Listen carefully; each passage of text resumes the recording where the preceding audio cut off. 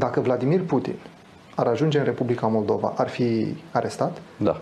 De ce? Uh, el este uh, anunțat uh, corespunzător legislației internaționale și corespunzător statul Republica Moldova își îndeplinește obligațiunile asumate internațional. Transnistria este o zonă pe care Republica Moldova nu o controlează în acest moment. Cum ar putea Republica Moldova să controleze Transnistria Asta și în considerentul în care își dorește să adere la Uniunea Europeană și foarte multă lume se întreabă cum va face acest lucru în condițiile în care Transnistria nu îi se află sub controlul autorităților de la Chișinău. Cetățenii Republicii Moldova care trăiesc astăzi în stânga uh, Nistrului, adică cei ce se, se spune că este în uh, Transnistria. Regiunea, tot, cer scuze, regiunea da, separatistă regiunea transnistreană, da. tot, mai, tot mai mult și mai mult văd beneficiile integrării uh, europene, peste două treimi a comerțului lor este cu uh, Uniunea Europeană. Avem un flux sporit a schimburilor uh, comerciale, uh, dar și sociale de pe ambele maluri ale Nistrului și acesta este o, o foarte bună formă de reintegrare. Noi astăzi avem acest format de 1 plus 1 de negocieri și obiectivul acestor negocieri este să îmbunătățim viața cetățenilor.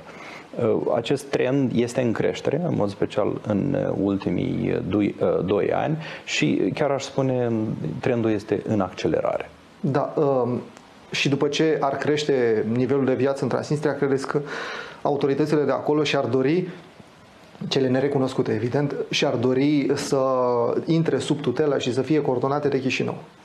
Eu cred că acest lucru se va întâmpla natural pentru că asta va dori, uh, vor dori cetățenii Republicii Moldova și mediul de afaceri de acolo sub ce formă? Autonomie sau pur și simplu uh, reintegrare uh, a, unei, a unui stat unitar, Republica Moldova?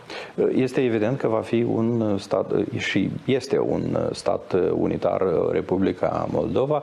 Ceea ce este important astăzi este ca să continuăm această integrare economică și socială.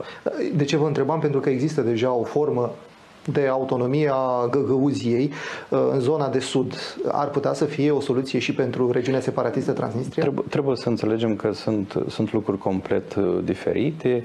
În uh, raioanele vulcănești, Ceadărlunga și Comrat avem zone de, cum să zic eu, de, de deci trăiesc compact găgăuzi, etnicii găgăuzi care își au cultura distinctă, care își au um, um, limba distinctă. De asta nu putem face comparații.